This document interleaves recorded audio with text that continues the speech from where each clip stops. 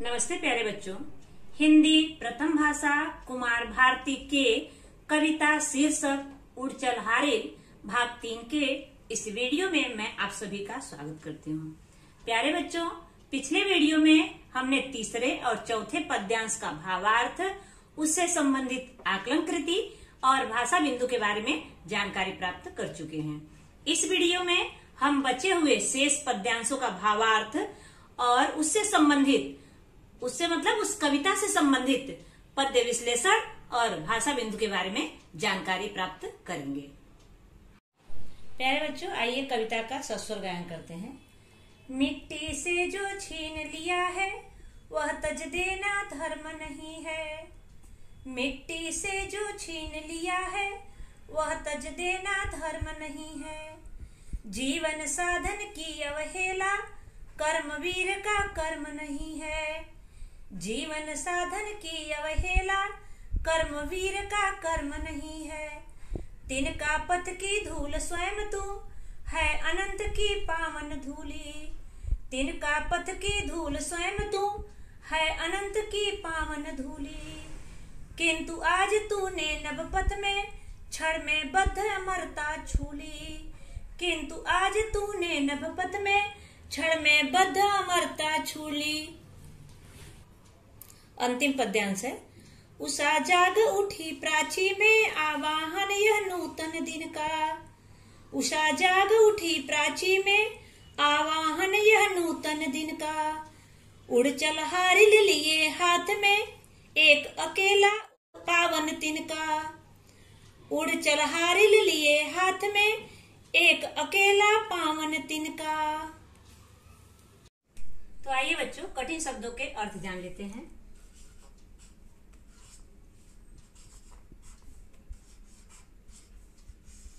शब्दार्थ।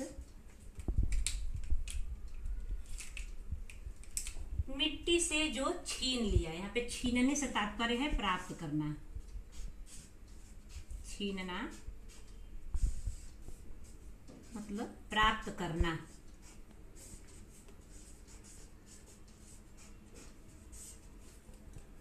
अगला वह तज देना धर्म नहीं है तजना। तजना तजना मतलब त्यागना। तजना मतलब त्यागना। जीवन साधन की अवहेला। अवहेला। अवहेला मतलब अवहेला। अवहेला मतलब तिरस्कार भी होता है, उपेक्षा भी होता है, अवहेलना भी होता है।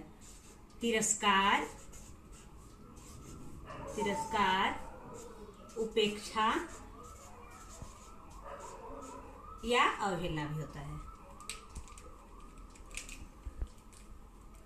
कर्मवीर का कर्म नहीं है। तिनका पथ की धूल स्वयं तू धूल मतलब मिट्टी का कण। धूल मतलब मिट्टी का कण।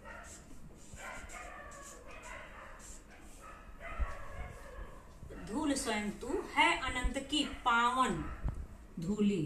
पावन मतलब पवित्र। पावन मतलब पवित्र।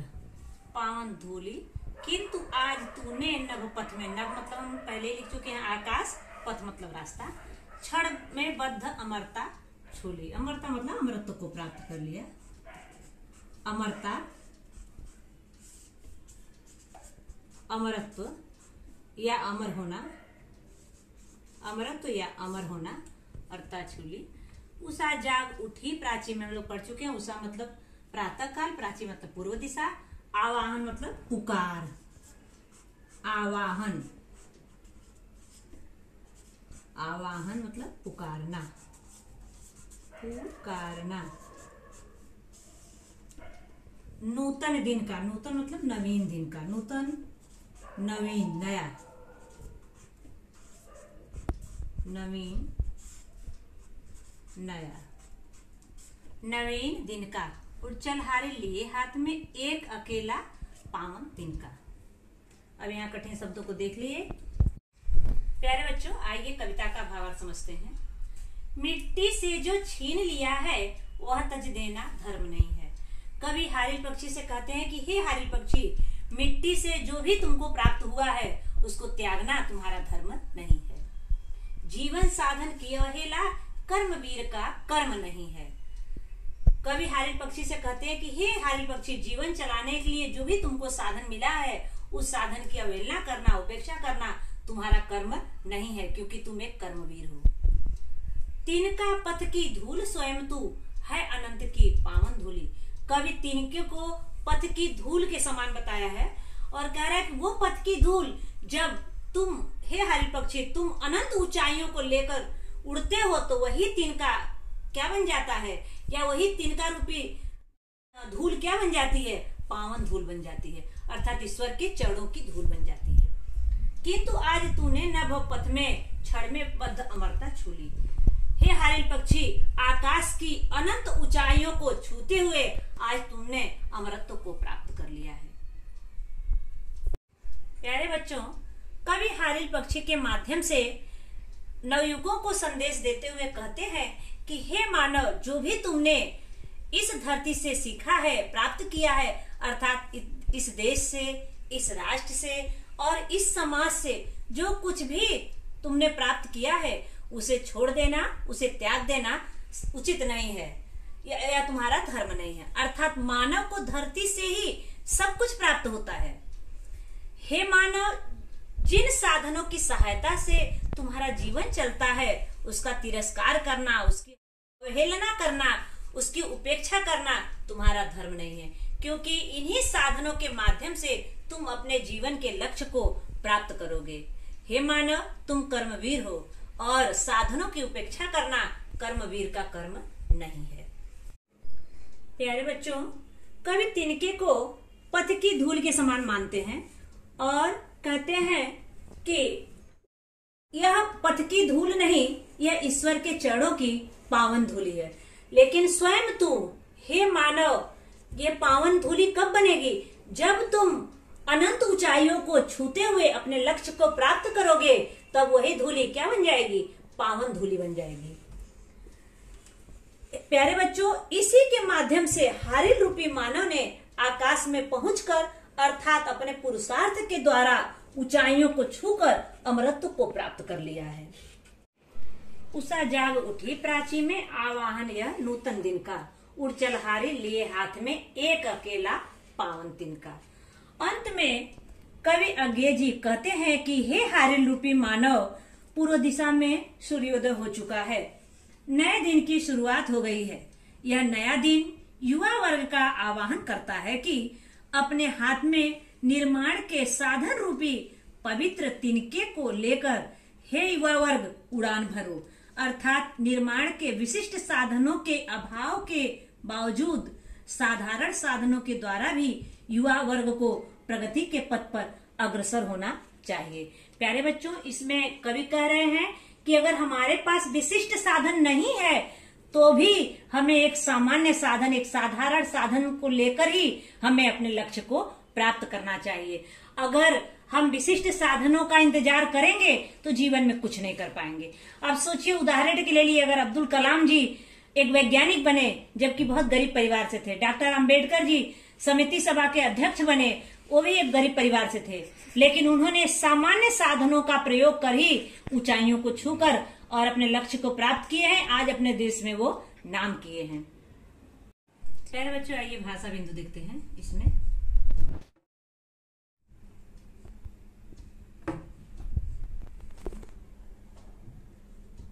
भाषा बिंदु क्या है? भाषा बिंदु में यहाँ पे सबसे पहले देख लेते हैं। आप देखिए यहाँ पे। आया है। मिट्टी से जो छीन लिया मिट्टी से आया है। सबसे पहले हम यहाँ पर कारक देख लेते हैं। कारक। आया है मिट्टी से। मिट्टी से। अब मिट्टी से जो छीन लिया मिट्टी से से दो में है। साधन के रूप में और अलगाव के रूप में। यहाँ पे क्या है? छीन लिया। तो अलगाव के रूप में आ गया। इसलिए कौन सा कारक होगा यहाँ? अपादान कारक होगा। अपादान कारक अपादान कारक फिर देखेंगे, वह तज देना धर्म नहीं है। वहाँ नहीं है। जीवन साधन साधन की। अब यहाँ पे देखो आया, साधन की। साधन की। हम लोग पढ़ चुके हैं, जहाँ पे काकी के रारी रे आएगा, वहाँ पे कौन सा कारक होगा? संबंध कारक। संबंध कारक। अगला देखेंगे यहाँ पे। कर्मवीर का कर्म नहीं, कर्मवीर का। फिर आया का? कर्मवीर का। फिर आया का? का होगा तो कौन सा कारक होगा, प्यारे बच्चों? संबंध कारक होगा। कौन सा कारक होगा? संबंध कारक होगा, क्योंकि काकी के रारी रे जहाँ पे आएगा, वहाँ संबंध कारक होगा। कर्मवीर का कर्म नहीं है। तिनका पथ की धूल स्वयं तू। अब यहाँ पे आया है पथ की। पथ की, यहाँ पर भी की आया है, यहाँ पर भी। कौन सा कारक हुआ है? संबंध कारक। कौन सा कारक? संबंध कारक। संबंध कारक। संबंध कारक। अगला है है अनंत की पावन धूली। अब देखिए यहाँ पे। अनंत। की। अनंत का की की आया है? अनंत की। की आया तो कौन सा कारक आया यहाँ पे? संबंध कारक। अब प्यारे बच्चे आप फिर देखेंगे। देखिए, अनंत आया है यहाँ पे। अनंत में क्या हो जाएगा? नीचे देख लिख देती हूँ मैं इसको। अनंत में समास आएगा। समास। अनंत में अ उपसर्ग लगा हुआ है। अ उपसर्ग है, आएगा न अंत। कौन सा समास होगा? न अंत। न तत्पुरुष समास।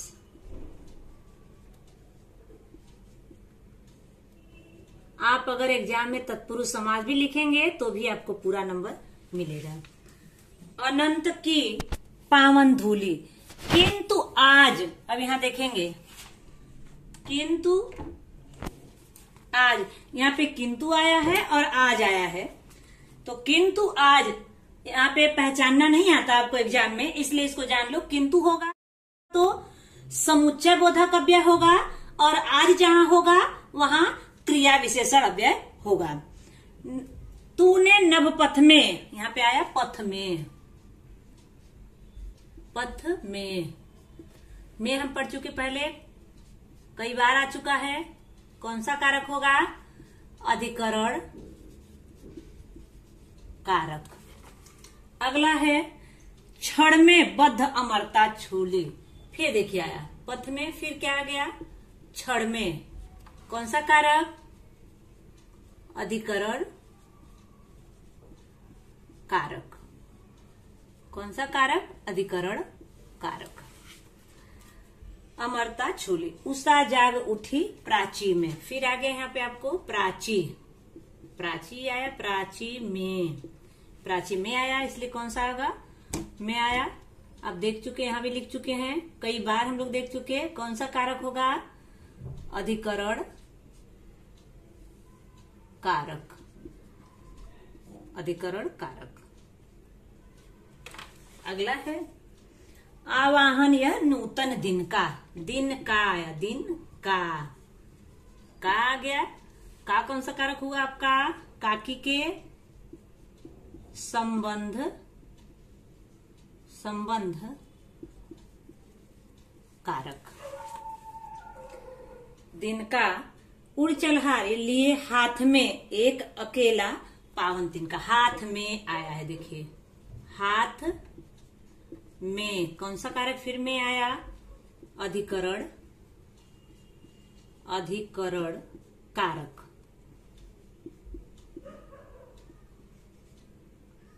कारक। अब इसमें आया है, हम देखेंगे, पावन आया है। समास हो गया, आप संधि देख लेते हैं यहाँ पर। संधि, पावन आया है। संधि विच्छेद होगा इसका?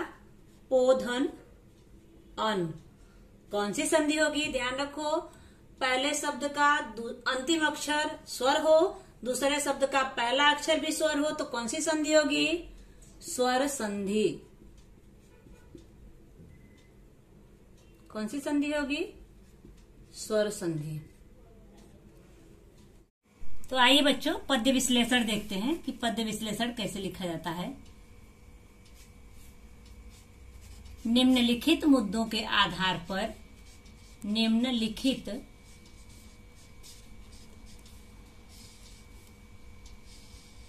निम्नलिखित मुद्दों के आधार पर मुद्दों के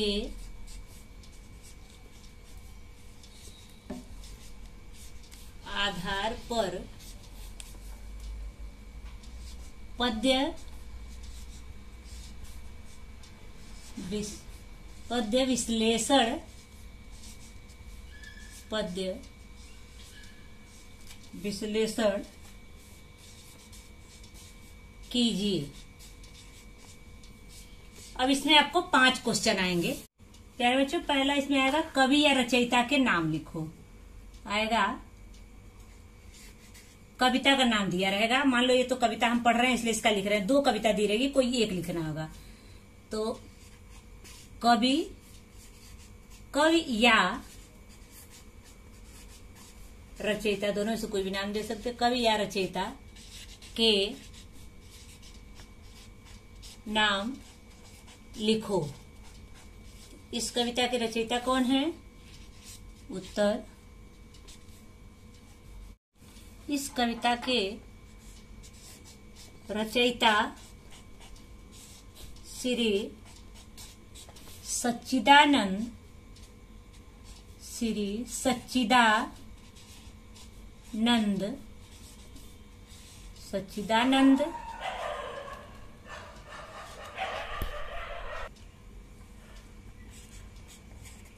हीरानंद वात्स्यायन वात्स्यायन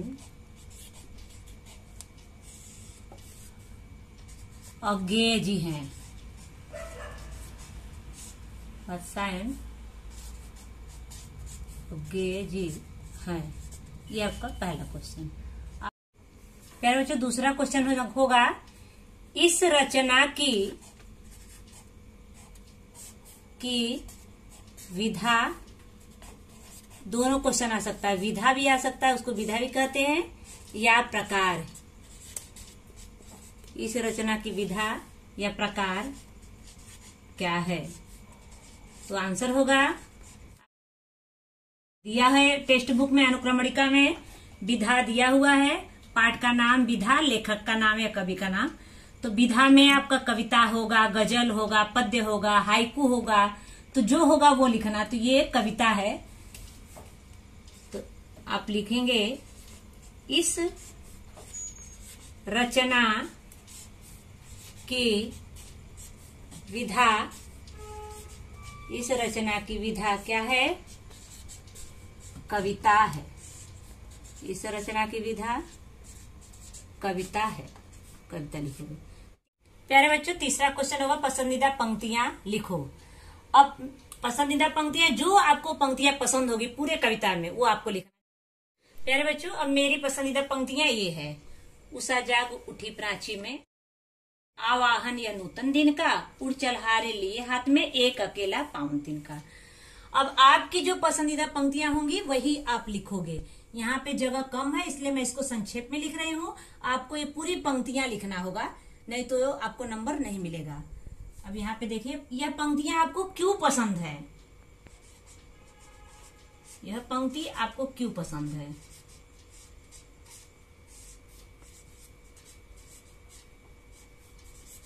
आपको क्यों पसंद है? कारण भी लिखना है। क्यों पसंद है? तो उसमें आपको लिखना पड़ेगा क्यों पसंद है ये पंक्ति। आपको लिखना होगा, यह पंक्ति यह पंक्ति मुझे इसलिए इसलिए पसंद है पसंद है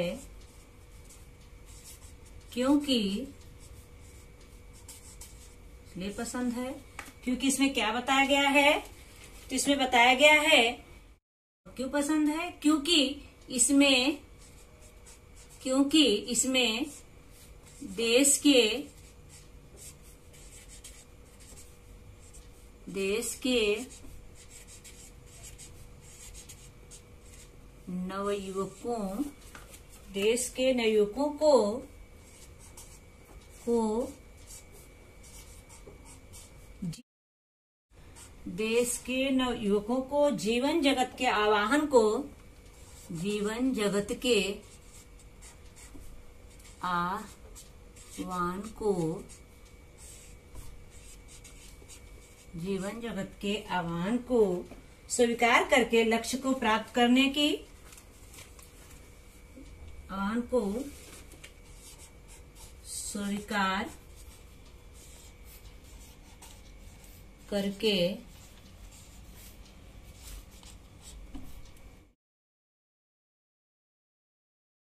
स्वीकार करके लक्ष्य को प्राप्त करने का संदेश दिया है।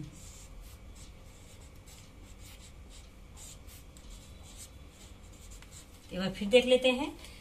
यह पंक्ति मुझे इसलिए पसंद है क्योंकि इसमें देश के नवयुवकों को, जीवन जगत के आह्वान को स्वीकार करके लक्ष्य को प्राप्त करने का संदेश दिया है कौन कवि।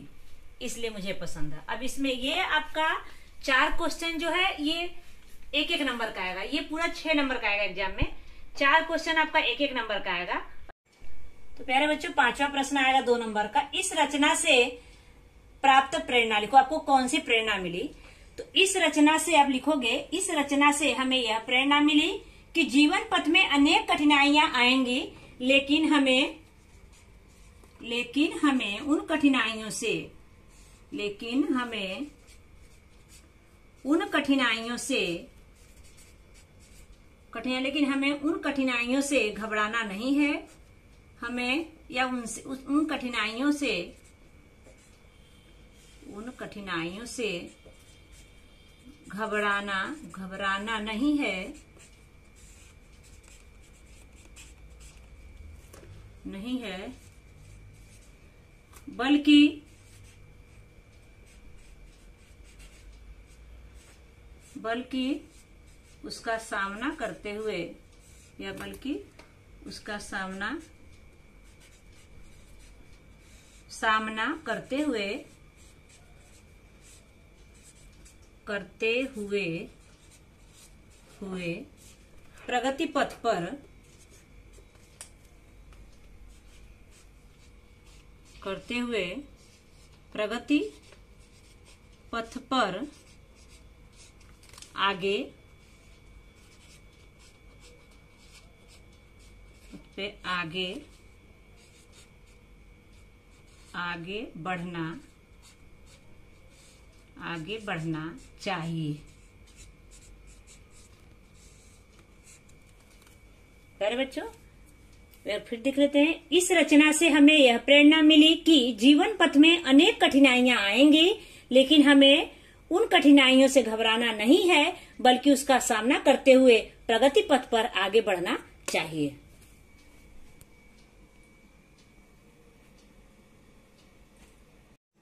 प्यारे बच्चों, कवि अज्ञे जी ने कविता के प्रारंभ में तिनके को ओछा तिनका कहकर संबोधित किया है। उसी तिनके को अंत तक आते आते कवि ने पावन तिनका कहकर संबोधित किया है। ये क्यों हुआ है? तो मैं आपको बता दूँ कि जब तक हमें किसी वस्तु की क्षमता और शक्ति का पता नहीं चलता है, तब तक वो वस्तु हमें महत्वहीन लगती है या हमें, हम है दृष्टि से उसको देखते हैं। लेकिन जब उसके क्षमता और शक्ति का पता चल जाता है तो वही चीज़ें हमारे लिए महत्वपूर्ण लगने लगती है। प्यारे बच्चों, इस पार्ट से आपको ये सीखना है कि हमें किसी बात का बहाना नहीं बनाना है। अगर हमारे पास विशिष्ट साधन नहीं है तो हमें अपने उस साधारण साधन के द्वारा ही अपने लक्ष्य को निर्धारित कर उसको प्राप्त करना चाहिए। प्यारे बच्चों, मुझे विश्वास है कि इस कविता का भावार्थ आपको अच्छी तरह से समझ में आ गया होगा? धन्यवाद।